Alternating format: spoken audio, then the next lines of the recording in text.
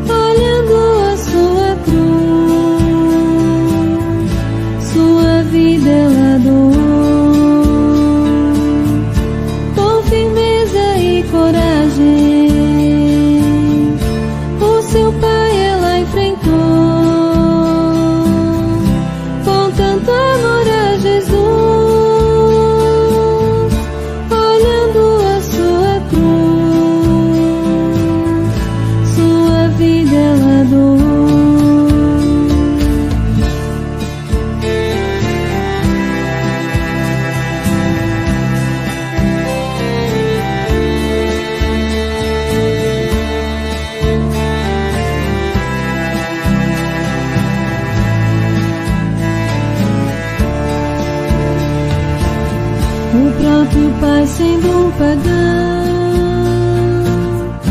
a sentença executou, cortando sua cabeça,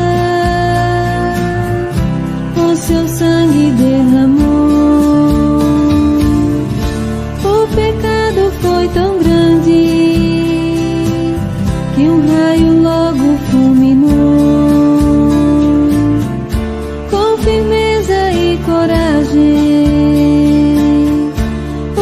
pai ela enfrentou.